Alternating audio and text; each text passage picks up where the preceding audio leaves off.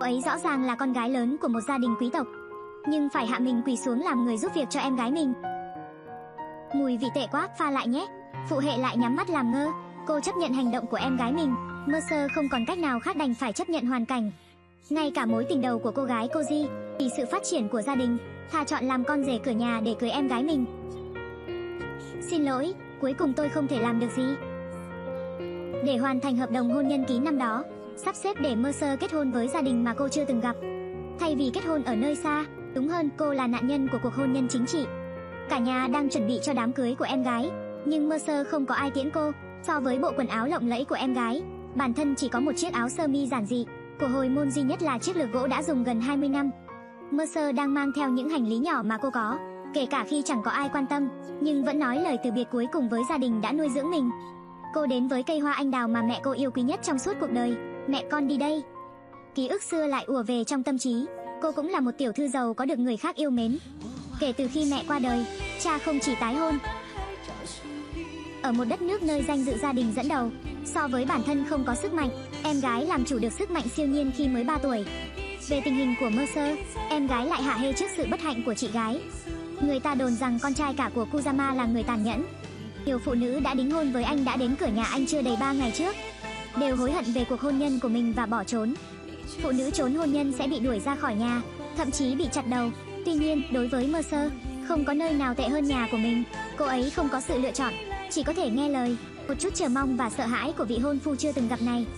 Nếu gia đình Kuzama cũng không muốn cô ấy, có lẽ cô ấy thực sự là người vô gia cư. Gia tộc Kuzama tuy là một gia tộc nổi tiếng nhưng nhưng cánh cửa trông rất đơn giản. Lần đầu gặp Kuzama đúng là lạnh lùng như lời đồn. Nhưng Mercer đã quen với việc bị phớt lờ. Bạn định quỳ như thế này đến bao giờ? Nhưng vào lúc ánh mắt hai người gặp nhau, gương mặt điển trai của chàng trai đi trước một bước so với ánh nắng ngoài nhà, soi vào trái tim cô gái hoang vắng. Ngày hôm sau, Mercer có thói quen dậy sớm chuẩn bị bữa sáng cho Kuzama. Người quản gia ngạc nhiên và nói với Mercer, đây không phải là điều Mercer cần làm, nhưng Mercer vô thức xin lỗi người quản gia. Cô nói với quản gia rằng cô có thể chuẩn bị bữa sáng cho thiếu gia. Sau khi biết Mercer làm bữa sáng, anh đã từ chối ăn. Tôi sẽ không ăn thực phẩm từ những nguồn không xác định. Khi anh về đến nhà vào buổi tối thấy Mercer đang quỳ ở cửa, xin lỗi chính mình và giải thích, nhưng Kuzama không quan tâm đến lời xin lỗi của Mercer, là tổng tư lệnh anh có tài quan sát nhạy bén. Anh mơ hồ cảm thấy có điều gì đó khác lạ ở cô gái trước mặt mình.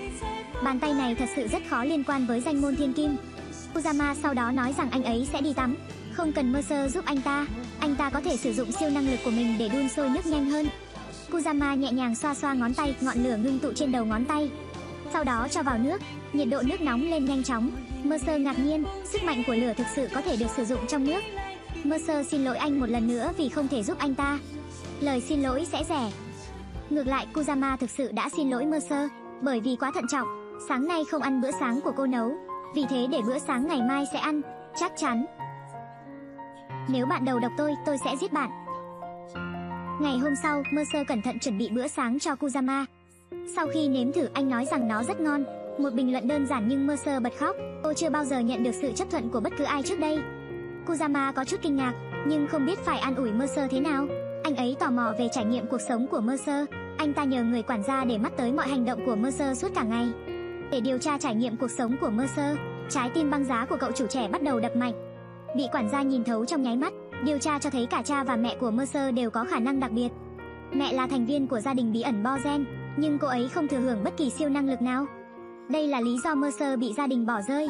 Tuy nhiên, khi điều tra gia đình Bozen thì không tìm được thông tin gì. Cứ như thể gia đình này biến mất trong không khí vậy. Sau khi trở về nhà, quản gia báo cáo diễn biến trong ngày của Mercer cho Kuzama. Phát hiện bất ngờ, Mercer tự sửa quần áo của mình hầu như mỗi ngày. Cô sợ làm tổn thương lòng kiêu hãnh của Mercer, vì thế thậm chí còn không hỏi. Ngoài ra có vẻ như chất lượng giấc ngủ của Mercer không được tốt cho lắm. Kuzama tìm Mercer, rủ cô ấy cùng anh đi chợ ngày mai, và Mercer chưa bao giờ rời khỏi nhà kể từ khi còn nhỏ. Mua sắm thậm chí còn xa xỉ hơn, cô sợ ra ngoài, chỉ sơ suất một hành động nhỏ sẽ khiến Kuzama phải xấu hổ. Nên cẩn thận từ chối yêu cầu, nếu bạn thực sự gây rắc rối cho tôi, hãy nói chuyện đó sau, nếu bạn không muốn đi tôi sẽ không ép buộc bạn. Không, ý tôi không phải vậy. Quyết định vậy đi, Mercer dậy sớm vào ngày thứ hai, người quản gia trang điểm cho cô. Tuy nhiên, Mercer, người chưa bao giờ mặc quần áo từ khi còn nhỏ, có chút bối rối. Mercer đẹp tự nhiên, đẹp hơn sau khi mặc quần áo. Ngay cả Kuzama từng gặp rất nhiều người đẹp trước đây, sau khi gặp anh cũng không khỏi ngượng ngùng. Một lần ở chợ, Kuzama đưa Mercer đến cửa hàng vải tốt nhất thành phố. Bà chủ nhà rất ngạc nhiên, đây là lần đầu tiên anh dẫn một người phụ nữ đến cửa hàng của mình. Kuzama nói với Mercer, trong tương lai cô sẽ là thành viên của gia đình Kuzama. Không cần phải cúi đầu cả ngày. Mercer từ từ ngẩng đầu lên, nhìn đôi mắt nóng bỏng của Kuzama. Mercer ngượng ngùng cúi đầu, tận dụng cơ hội để nếm thử một số món tráng miệng. Đây là món ăn ngọt ngào nhất cô từng ăn trong đời. Để bày tỏ lòng biết ơn tới Kuzama, cô này nhìn người quản gia dẫn cô ra phố để chọn quà.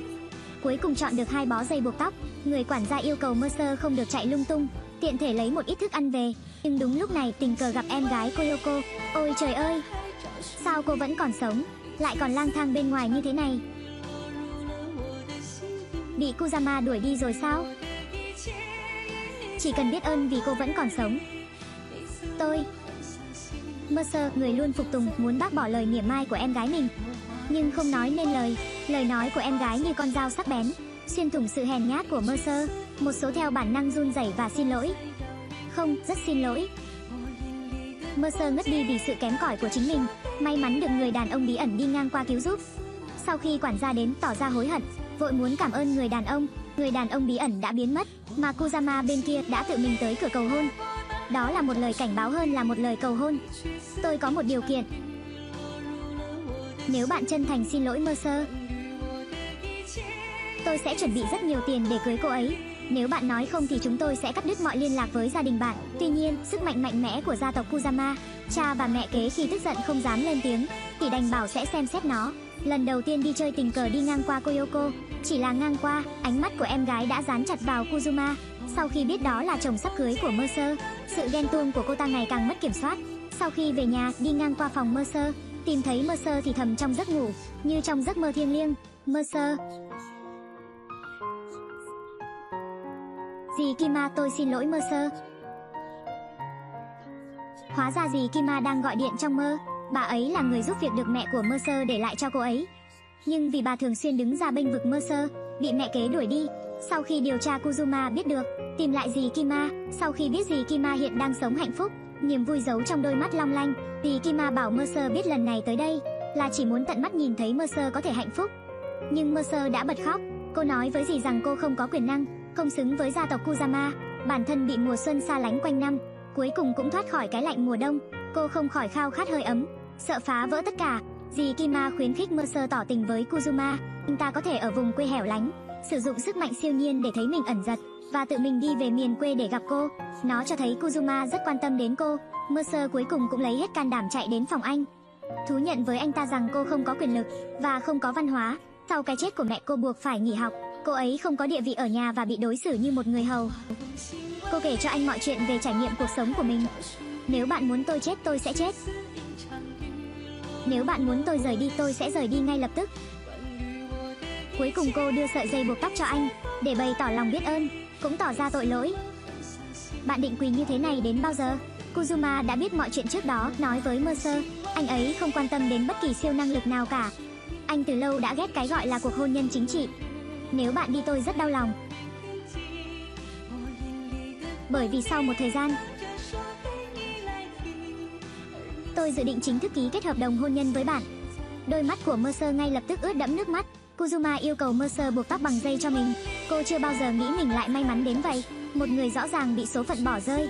Tuy nhiên, hạnh phúc đã chọn cô. Lúc này, hai người cứu rỗi lẫn nhau trở nên vui vẻ. Vào ngày này, bà chủ tiệm vải đã đích thân giao bộ quần áo do Kuzuma thiết kế đến tận nhà. Nó chứa một cặp lược gỗ tinh xảo. Người quản gia cho rằng con trai tặng con gái chiếc lược gỗ tương đương với lời cầu hôn. Mercer đã được tân bốc, đột nhiên có tiếng gõ cửa. Mercer mở cửa trước, đột nhiên một tiếng hét. Người quản gia chợt nhận ra có điều gì đó không ổn vội vàng ra khỏi cửa. Người ta phát hiện ra rằng Mercer đã mất tích, thì ra chính mẹ kế và chị gái của cô đã bắt cóc Mercer. Con chó cái giống mẹ mày quá. Chúng tôi có chỗ nào không bằng các người. Tôi ghét nhất đôi mắt này. Giống hệt người phụ nữ đó, không phải chỉ là huyết thống thôi sao? Dựa vào cái gì đãi ngộ tốt hơn ta nhiều như vậy? Koyoko bước đến bên Mercer, đe dọa Mercer hủy hôn ước với Kuzuma. Lần này Mercer cuối cùng cũng lấy hết can đảm để lắc đầu từ chối Koyoko. Mặc dù cô biết rằng những gì tiếp theo chắc chắn là một sự xúc phạm. Kuzuma vô cùng lo lắng sau khi biết Mercer mất tích. Lúc này Koji đã chủ động đi tìm anh, nói với anh ấy rằng mọi chuyện là do Koyoko đã gây ra. Koyoko vì muốn có được anh, ta muốn hôn nhưng muốn có được huyết thống của nhà Boran. Kuzuma tức giận đến dinh thự của gia đình Yaimori, anh ta ngay lập tức kích hoạt sức mạnh của lửa và đốt cháy cánh cửa. Điều đầu tiên đứng trước mặt anh chặn đường là cha của Koji. Kuzuma ra lệnh cho họ đích thân giao Mercer. Tuy nhiên, cha của Koji đã phát động cuộc tấn công Kuzuma bằng sức mạnh của chính mình. Đối mặt với người quyền lực nhất hiện nay, cha của Koji không thể đánh trả. Mercer nghe thấy tiếng ồn ào bên ngoài, nhận ra có lẽ Kuzuma đến cứu cô, liền gào thét cầu cứu trong tuyệt vọng. Tuy nhiên, càng chống cự, hai mẹ con họ ngày càng lạ. Khi đó người xuất hiện trước mặt Kuzuma chính là cha của Mercer. Cha của Mercer là người thuộc tính gió. Kuzuma giận dữ tố bố Mercer không có tình thân. Tình thân. Thùng rác không xứng đáng được yêu thương. Đúng lúc này, một nguồn năng lượng bí ẩn bùng phát trong phòng. Làm nó bùng nổ, ngọn lửa lập tức lan khắp sân. Kuzuma đứng dậy và đi ra ngoài một ngôi nhà.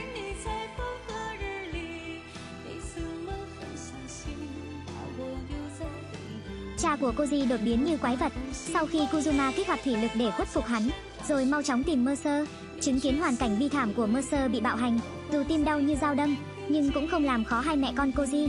Anh chỉ muốn đưa Mercer rời khỏi nơi địa ngục này càng sớm càng tốt.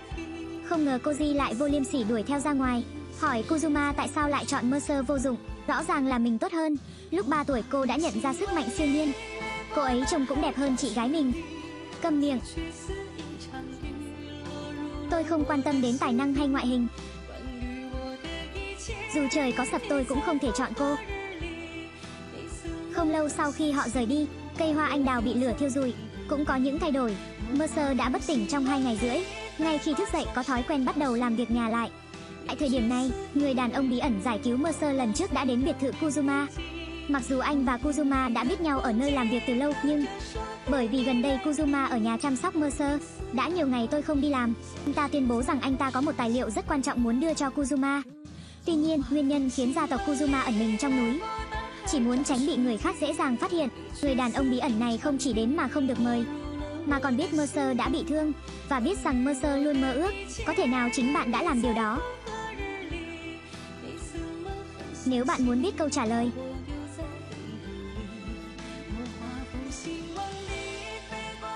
chỉ cần mang cô ấy đến cho tôi. Để tìm ra sự thật đằng sau những cơn ác mộng thường xuyên của Mercer, Kuzuma đưa Mercer đi tìm người đàn ông bí ẩn, thì ra người đàn ông này là người của bộ tộc Boran, Có thể tự do điều khiển ý thức của người khác, nhưng họ phải chịu đựng một thực tế là tất cả các gia đình lớn đều thèm muốn khả năng của họ. Tất cả các thành viên trong đó chỉ đơn giản là ẩn mình. Những người này đều là trưởng lão của gia tộc Boren. Và nụ hôn của quý cô, ông nội của tôi và Mercer.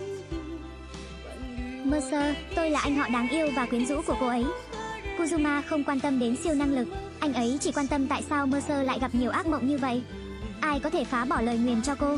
Trưởng lão nói với Kuzuma rằng không ai nguyền rủa cô ấy. Dòng máu của gia tộc Bozen có chức năng điều khiển tâm trí. Chỉ vì siêu năng lực của Mercer mà cô đã bị mẹ mình phong ấn. Kết quả là trạng thái tinh thần không ổn định và thường xuyên gây ra ác mộng. Chỉ cần thức tỉnh siêu năng lực thì mọi việc đều có thể giải quyết được. Họ yêu cầu Kuzuma giữ Mercer, bằng không sớm muộn gì cũng bị ác mộng giết chết. Người đàn ông không thể ngăn được cơn ác mộng. Tại sao bạn nghĩ bạn có thể mang lại hạnh phúc cho Mercer? Sau khi do dự một lúc Kuzuma đồng ý với cách tiếp cận của họ. Nhưng Mercer thả bị giấc mơ giết chết còn hơn, cũng không muốn rời xa hạnh phúc vốn dĩ không dễ dàng của cô. Ngươi nói ngươi sẽ tuyệt đối phục tùng ta, dù lời nói có cay nghiệt đến đâu, ánh mắt Kuzuma vẫn tràn đầy vẻ miễn cưỡng. Tuân lệnh. Kuzuma vừa bước ra khỏi cửa, anh họ nóng lòng muốn cầu hôn Mercer. Huyết thống của gia đình họ bị cấm chia sẻ với người ngoài, Mercer hỏi tại sao ngay từ đầu mẹ cô lại kết hôn với gia đình Zaimori. Anh họ nói với Mercer rằng chuỗi tài chính của gia đình lúc đó đã bị đứt đoạn. Mẹ của Mercer tự nguyện kết hôn với gia đình Zaimori để đổi lấy sự giúp đỡ và phong ấn khả năng của cô, làm cho cô trông giống như một phế vật. Bây giờ gia đình Boren có thể thở phào nhẹ nhõm, nên trở về vị trí ban đầu. Ở tầng dưới, Kuzuma nhìn tòa nhà gia đình Bozen và không muốn rời đi. Lúc này quân đội đã gửi tin, lượng lớn ma quỷ côn trùng đang đổ về bộ, khiến một lượng lớn binh lính biến đổi. Kuzuma xông vào quân đội, quân lính giết nhau, anh ra lệnh cho cấp dưới của mình tạo thành một rào chắn. Đừng để virus lây lan sang các khu dân cư lân cận. Nhưng một khi rào cản được dựng lên, không ai có thể sử dụng sức mạnh, điều đó chắc chắn sẽ khiến bạn gặp nguy hiểm. Kuzuma không chút do dự, kiên trì lập rào cản. Mercer ở phía bên kia, nhưng tình cờ nghe được cuộc trò chuyện giữa anh họ và trưởng lão. Nghe nói tất cả oán linh của áo đô thành đều đến tổng bộ. Còn lực lượng đặc biệt thì sao? Một cuộc chiến đang diễn ra khả năng cao là toàn bộ quân đội sẽ bị tiêu diệt. Cô muốn cứu Kuzuma bất chấp trở ngại. Để tôi đi.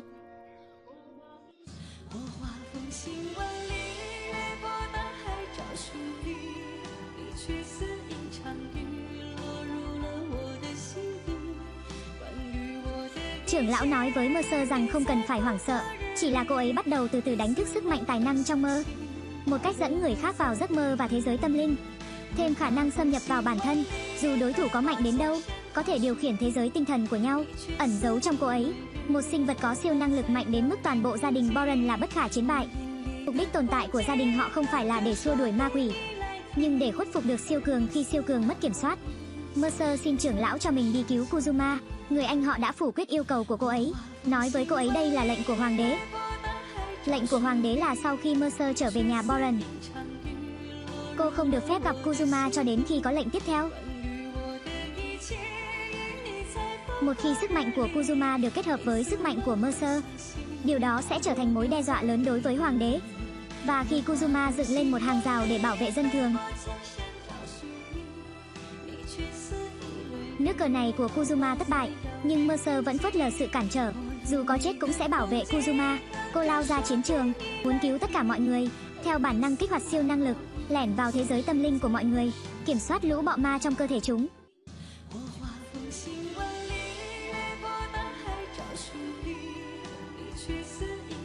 chém hắn.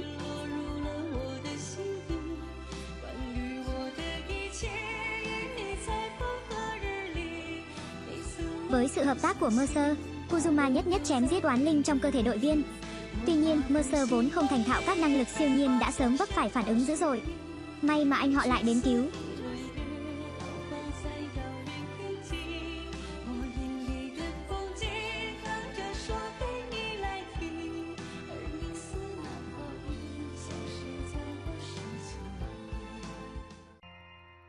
Cuộc đời cô vô hồn như cây hoa anh đào nhà Saimori.